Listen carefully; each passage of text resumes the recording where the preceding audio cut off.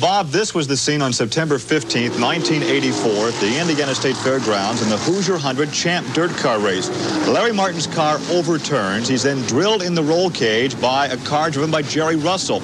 It resulted in Martin suffering serious head injuries.